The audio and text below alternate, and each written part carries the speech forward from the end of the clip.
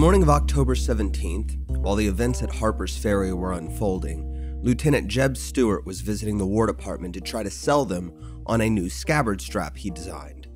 When word came out about the attacks on Harper's Ferry, he volunteered his services. The only military force within reasonable distance from the town were 90 inexperienced U.S. Marines. Keep in mind, prior to the Civil War, there was very little in the way of a standing military. Stuart was sent with a summons for another nearby Army officer and the father of one of Stuart's closest friends, Colonel Robert E. Lee. Lee lived just across the river from Harper's Ferry. Both Stuart and Lee would join the Confederacy in little more than a year's time, but at the moment, they were still loyal United States soldiers. The pair made it to Sandy Hook, Maryland, just across the bridge from Harper's Ferry, a little before midnight on October 17th, and the 90 Marines were placed under their command. Lee led them into Harper's Ferry, where he heard rumors of the mass uprising, which he quickly realized were hyperbole. He referred to the raiders as a party of banditti. He sent the raiders a message, informing them that they would surrender at dawn, and in return, they would be kept safe until the president gave his orders for what to do with them. But Lee knew the surrender would be refused, so he also planned an attack for his inexperienced Marines, which would be commenced the moment word of the refusal to surrender had been signaled. To avoid harming hostages, they were instructed to use their bayonets only. But with raiders who had already proven themselves willing to die for their cause, fortified inside the Harper's Ferry Armory, an attack with a group of inexperienced Marines sounded easier in theory than it would be in practice. I'm Chris Calton, and this is the Mises Institute podcast, Historical Controversies. In the previous episode, we covered the first half of the Harper's Ferry raid, and this episode will continue the story so that we can see how Brown and his men were ultimately defeated.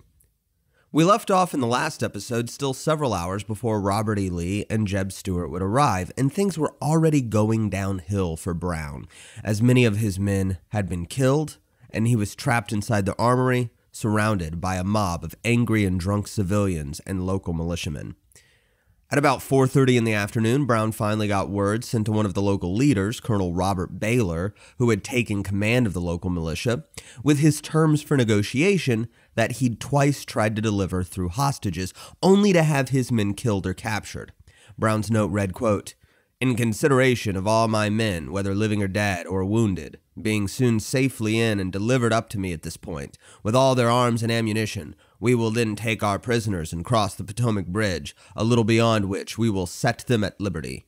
We require the delivery of our horses and harnesses at the hotel.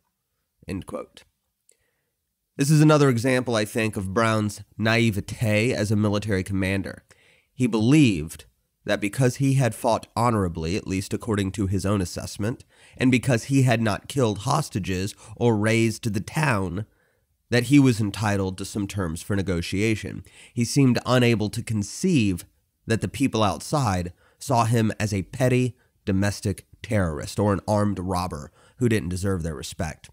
But with Brown completely trapped inside the armory, Baylor saw no need to give Brown any concessions, and he certainly did not believe Brown deserved them. But even if he had conceded to Brown's terms, it's unlikely that the men under him would have honored them. Baylor didn't have a strong command over the men. Remember that these were mostly just local militia, and many of the people weren't even that. They were just angry civilians armed with their own weapons. Only about one fifth of the people present were under Baylor's command, and many people were rowdily firing their guns in the air, while others were desecrating Dangerfield Newby's corpse or taunting Aaron Stevens, who was incapacitated from his wound. So, had Baylor tried to honor Brown's demand to cross the Potomac Bridge, it's unlikely that the people of Harper's Ferry would have resisted the temptation to fire on him anyway. One Maryland militia leader actually sent a surgeon in his own company into the engine house to deal with Watson Brown, who was still dealing with his bullet wound to the stomach. Once inside, the surgeon was horrified to see that the dead bodies of Stewart Taylor and Oliver Brown were lying in a bloody mess next to Watson, who was himself begging for the rest of the men to finish him off and put him out of his misery. The uninjured people inside the engine house weren't much better off. Brown's men were exhausted from lack of sleep. The hostages were starving. Many of them had refused to eat the breakfast that Brown had secured that morning because they were afraid the food was drugged. The black men Brown had liberated, at least in theory, were by any standard worse off than if Brown had never liberated them at all. By handing them pikes, they had essentially just been forced into Brown's service, the irony lost on him, of course, and now Brown had put them in a position where the mob outside could see them armed which was often a death sentence for blacks in the antebellum South. They had been given little choice in their participation, as Brown just assumed that they'd be eager to join his party, and the white hostages present could take mental note of any cooperation they offered the raiders. So the nominally liberated blacks were arguably in the worst position of any of them. By all accounts, Brown kept remarkably calm during all of this. I've read several histories of Brown, and you can find two different accounts of how he spoke to his son Watson. In some accounts, he comes across as a kind father, responding to Watson's cries to be put out of his misery by saying, quote, No, my son, have patience. I think you will get well. If you die, you die in a glorious cause. End quote. Other accounts portray him as cold heartedly telling his son to deal with the pain and die as a man. Most likely, these varying reports are colored by the biases of the hostages who gave their recollection of Brown.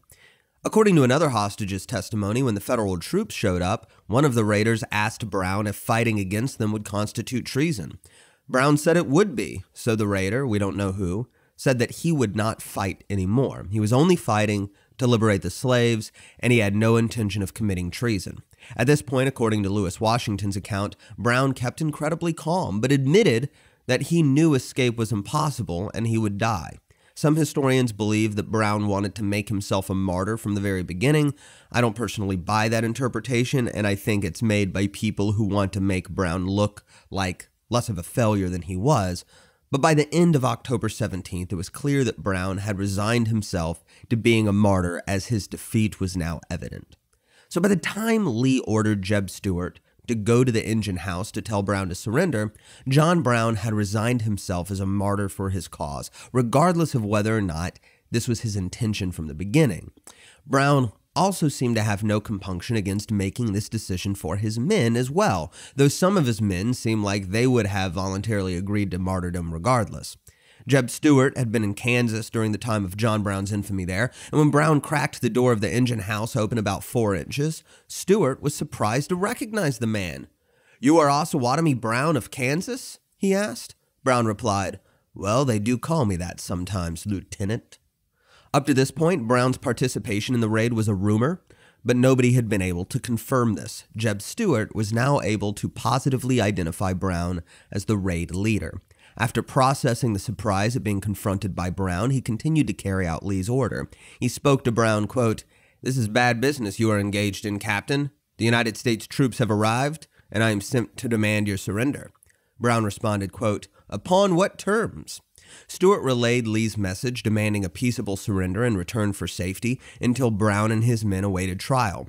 Brown made the counter proposal of carrying his hostages across the Potomac Bridge safely. Stuart said, quote, I have no authority to agree to such an arrangement, my orders being to demand your surrender on the terms I have stated. Brown refused, letting Stuart know that he would rather die fighting. This response terrified the hostages, who begged Stuart to convince Lee to meet with Brown for a parley. But Lee had already planned the bayonet charge once Brown refused. So, like the host of Who Wants to Be a Millionaire, Stuart asked, Is that your final answer, Captain? And Brown confirmed that it was and Stuart waved his hat, signaling Brown's refusal to surrender.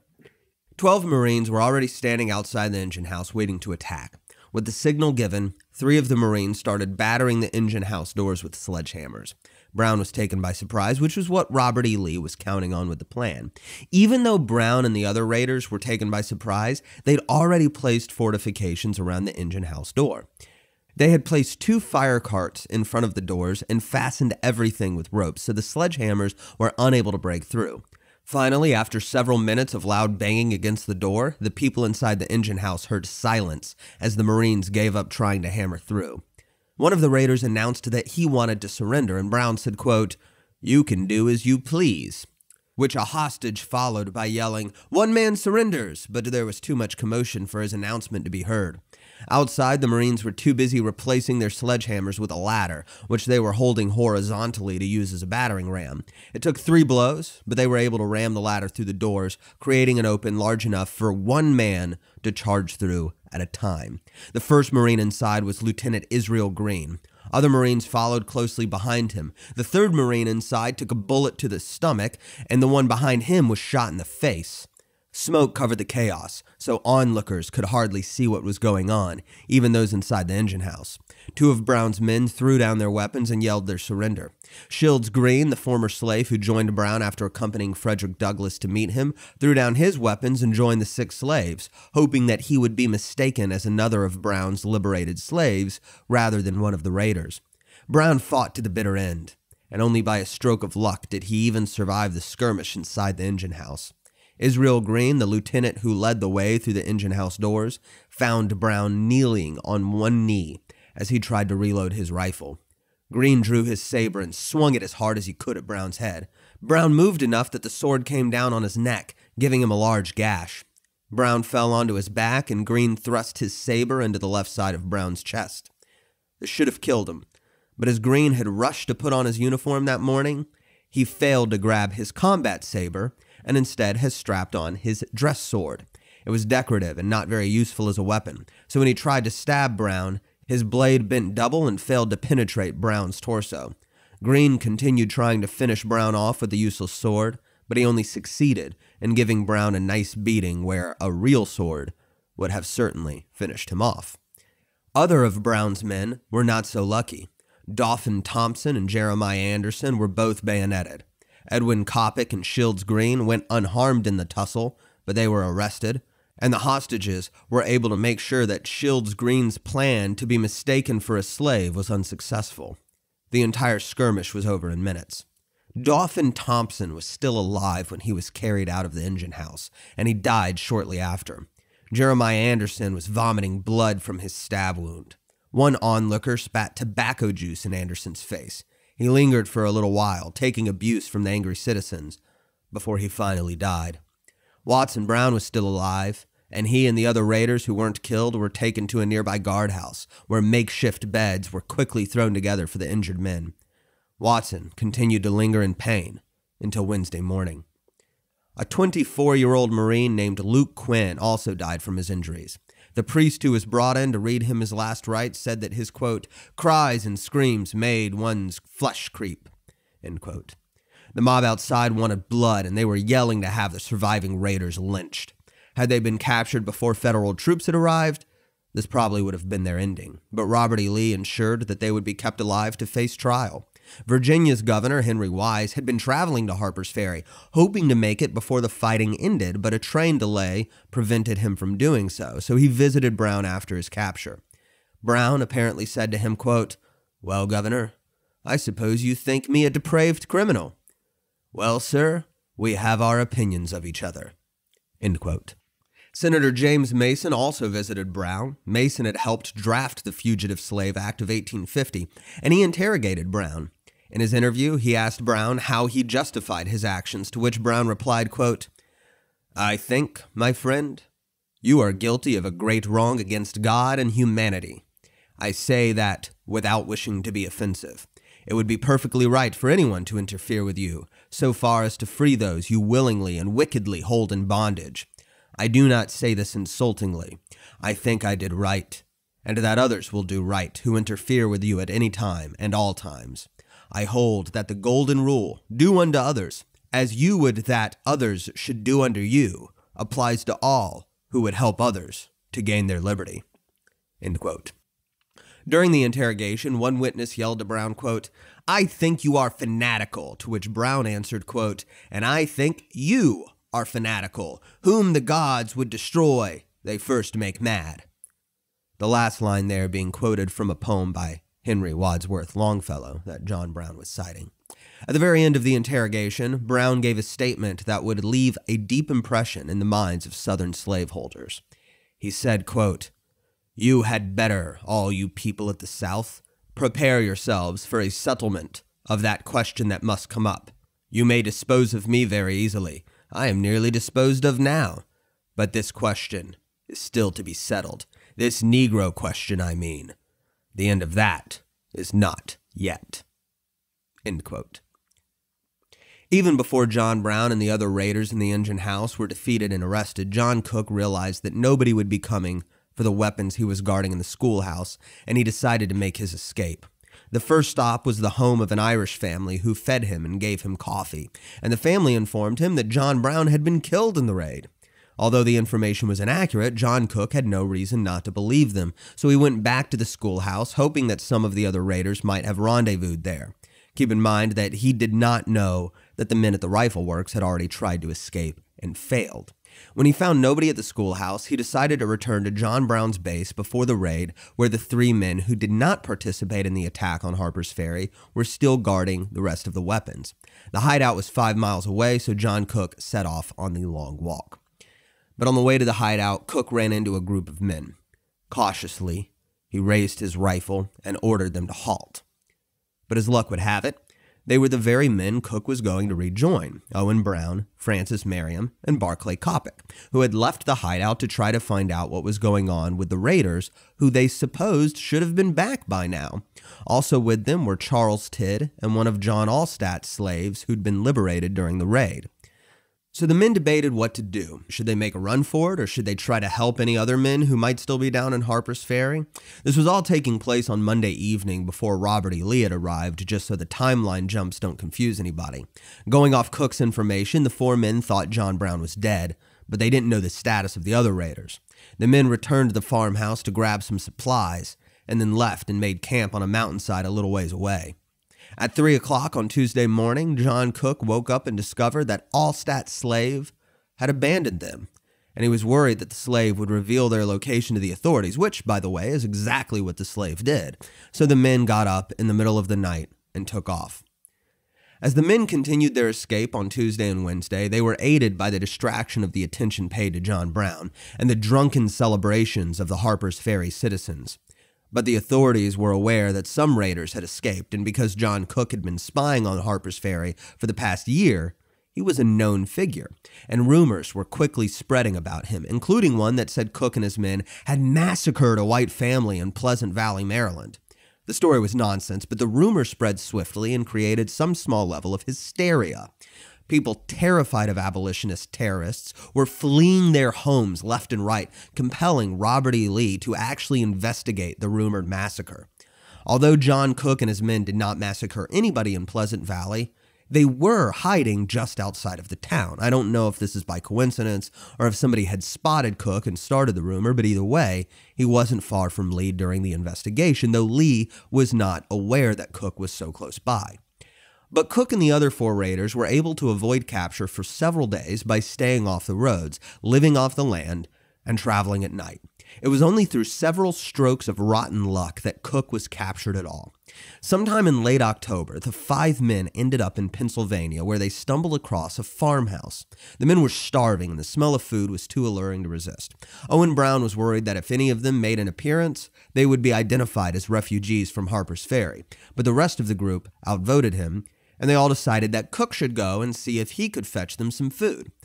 Cook was good at making friends with people, and this proved true when he went to the farmhouse as well. He told the family that he was part of a hunting party that had gotten lost in the woods, and he purchased some loaves of bread and some beef for the other raiders, which was the first real meal they'd received in more than a week.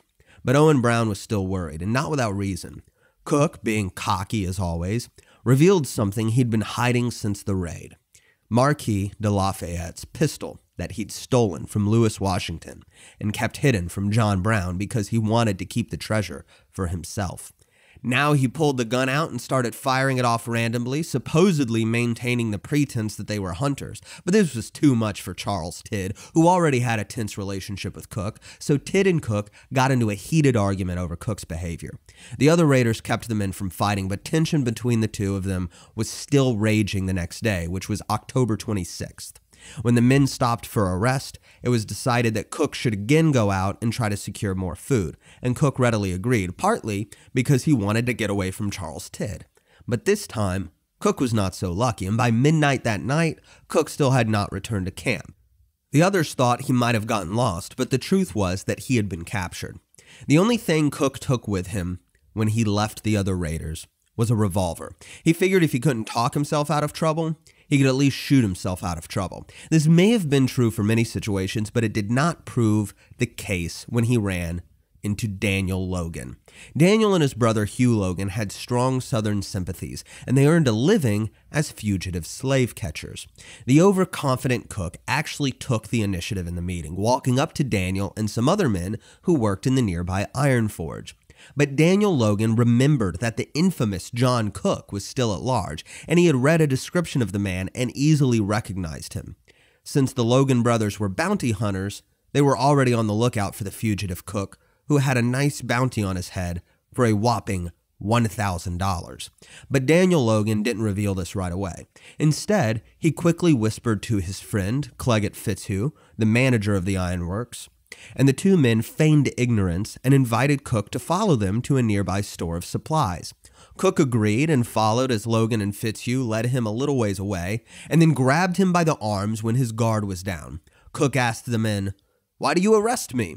But he already knew the answer they would give him. Because you are Captain Cook, Logan told him. Then they dragged Cook to Fitzhugh's home nearby. After searching Cook and finding some incriminating documents that confirmed his identity, including a copy of John Brown's provisional constitution, they loaded Cook into a buggy and headed to Chambersburg to collect the bounty. On the way, John Cook tried to negotiate with them. Cook's family had money. He also had two sisters who married well off men, so John Cook was certain that he could secure more than the $1,000 bounty the government was offering. He just had to get in touch with his brothers in law, one of whom lived in New York and the other in Indiana. Logan didn't trust Cook, of course, but he was intrigued at the prospect of a larger payout, so he offered John Cook the opportunity to get up with Colonel Alexander McClure, an anti slavery legislator, who would then secure the deal. Logan agreed to escort Cook to McClure's office in Chambersburg without revealing his identity to anybody else. If McClure could guarantee the ransom, he'd let Cook walk. Logan and Cook arrived in town that evening, and Logan sent word to McClure's office. McClure was nowhere to be found. He was actually out looking at some real estate he was thinking about purchasing, as luck would have it. Logan tried to find out where McClure was, but as night came, he still couldn't get in touch with the man. So finally, he decided he'd be better off just collecting the bounty, and he started marching Cook to the local courthouse. Once Cook was already inside the courthouse and standing in front of the local judge, McClure showed up and noticed the commotion. Upon seeing him, Daniel Logan actually tried to make good his promise to give John Cook the opportunity to get the ransom for his freedom, but it was too late. Had McClure been available as he normally would have, it's very possible John Cook would have escaped. But it was too late for that now as the local judge had already seen him, and there was no way anybody could act on his behalf without putting themselves in legal jeopardy. Even despite this, McClure did plan an attempted jailbreak to free Cook. The idea was to get a pair of local anti slavery women to smuggle in some women's clothing. Then he would dress up as a woman and walk out pretending to be one of the two visitors, while the other woman stayed behind in his jail cell, bait and switch, so to speak. This plan was actually one adopted from previous successful jailbreaks for fugitive slaves, so it wasn't as absurd as it may sound today since it had worked in the past. But McClure ruined this escape for John Cook as well, after convincing the women to delay the plan until the next night. When he awoke in the morning, he was informed that John Cook had already been taken back to Virginia. McClure's decision to delay the plan cost John Cook his last chance at escape. The reason for this rapid departure was simply one more piece of incredibly bad fortune for John Cook. What John Cook had no idea of is that in addition to the four men he had escaped with, two other John Brown raiders had escaped Harper's Ferry Osborne Anderson and Albert Hazlett. When they were captured, Hazlett was mistaken for John Cook. So an extradition order was issued for Cook by mistake. So when John Cook was sitting in a jail cell in Chambersburg, it just so happened that an extradition order had already been issued for him, allowing him to be taken to Virginia more quickly than McClure could have anticipated.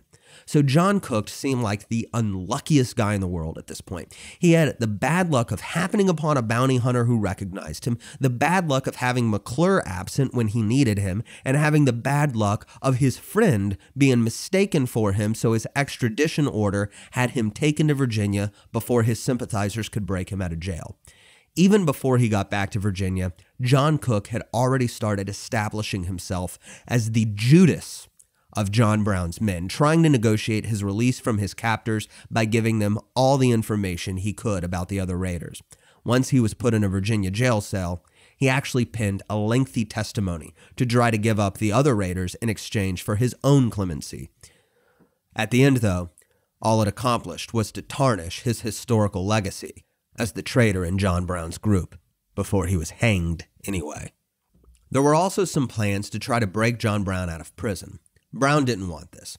He'd already resigned himself to take on the role as the martyr, but his friends still wanted to save him from the hangman's noose, and various plans were concocted.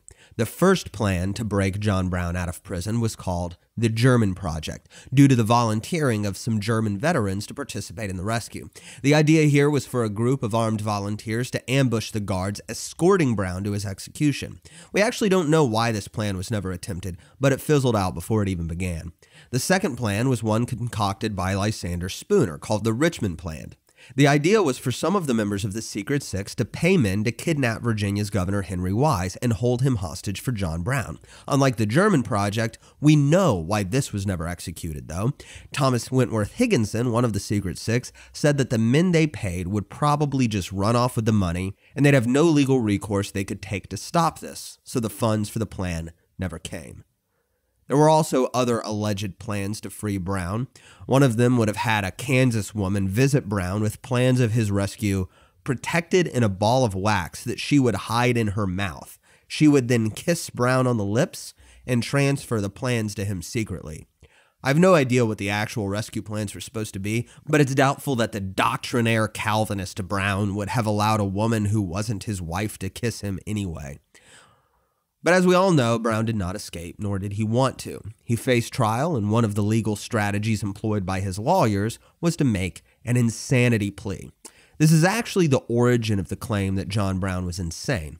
I mentioned before that I wrote an article for this on the Mises Wire, which, to summarize, basically shows why the ideas that John Brown was insane in a clinical sense is doubtful, if anybody's interested in that.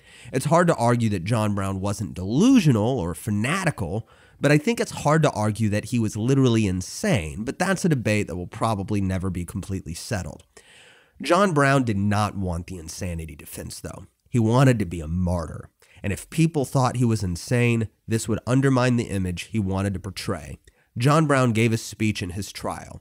In it, he made his purpose abundantly clear. He said, quote, Had I interfered in the manner which I admit, and which I admit has been fairly proved, had I so interfered in behalf of the rich, the powerful, the intelligent, the so called great, or in behalf of any of their friends, either father, mother, brother, sister, wife, or children, or any of that class, and suffered and sacrificed what I have in this interference, it would have been all right.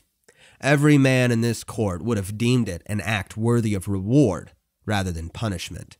This court acknowledges, too, as I suppose, the validity of the law of God I see a book kissed here, which I suppose to be the Bible, or at least the New Testament. That teaches me that all things whatsoever I would men should do to me, I should do ever so to them.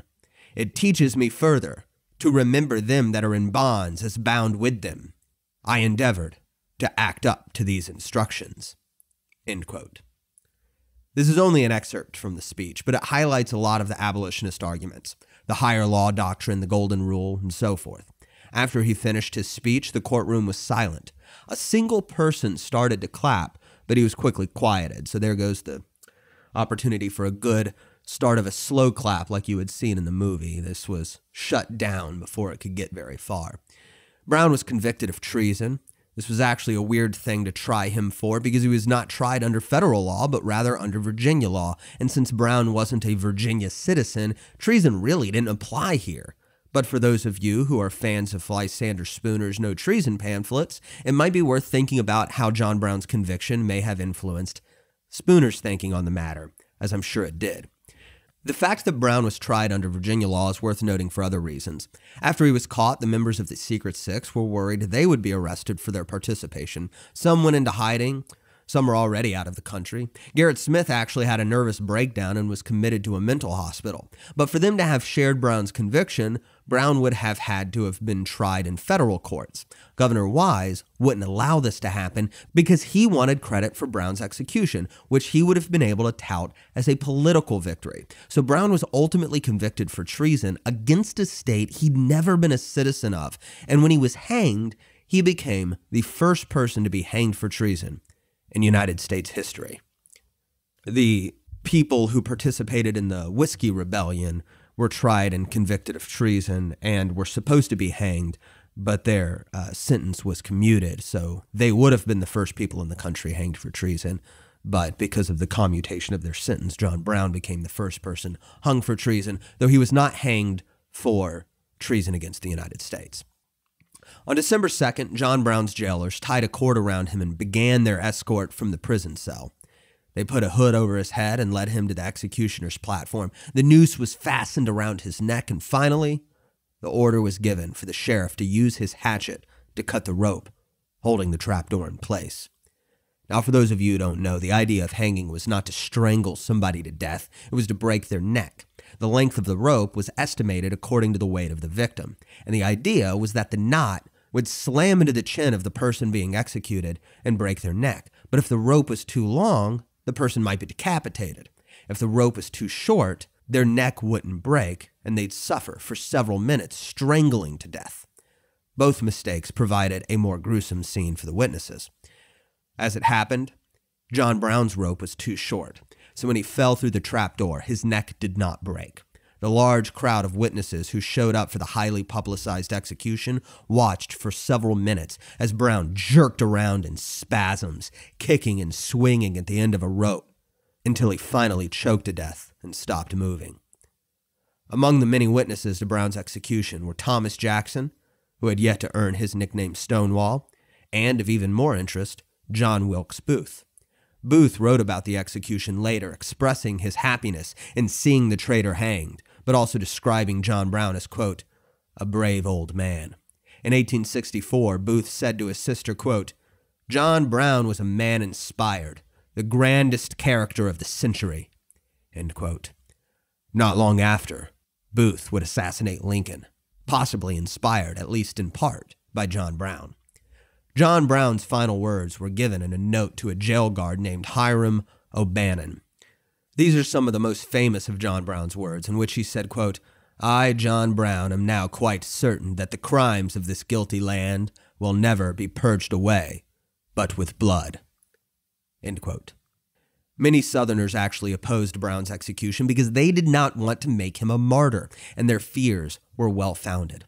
Most people in the North were very opposed to John Brown's raid, and even other abolitionists denounced his violence. But after he was executed, the Northern abolitionists changed their tune. William Lloyd Garrison gave Brown's eulogy. Frederick Douglass famously elevated Brown's devotion to ending slavery above his own, saying that he could only live for the slave, while John Brown was willing to die for him. Becoming a martyr was perhaps the only thing that John Brown did successfully in his entire life. And Southerners paid very close attention to all the praise that was heaped upon Brown. Most of the North was still not abolitionist, and it was only a minority of the population that praised him so openly. But this colored Southern perception of the North. They were convinced that the North was not only full of abolitionists, but that it was full of violent abolitionists who would copy Brown's radical actions and attempts to liberate the slaves. The Republican Party was the formal representation of John Brown's ideas in the minds of Southerners, and this is incredibly important to keep in mind in understanding this history. The Republican Party absolutely did not condone or support John Brown, and Abraham Lincoln explicitly denounced Brown's actions. But the truth did not matter. Perception was reality in the South, and they operated under the delusion that the Republican Party was a John Brown party. This is also vital in understanding why non slave holding Southerners were so against anti slavery sentiment. They may not have had an economic interest in slavery, as many people like to point out, but John Brown represented to them the very real danger they believed they were facing with a Republican victory. Violent abolitionists like Brown had no compunction against bringing violence against non slave holding Southerners, just as he demonstrated in the Potawatomi Massacre years before. This is why John's Brown role in antebellum history is so important. Whether it was his intention or not, John Brown started a wildfire of paranoia in the South against violent abolitionism, and this would come into play in what may be the most heated election in U.S. history, the election of 1860, which will be the topic of the next episode. For more content like this, visit Mises.org.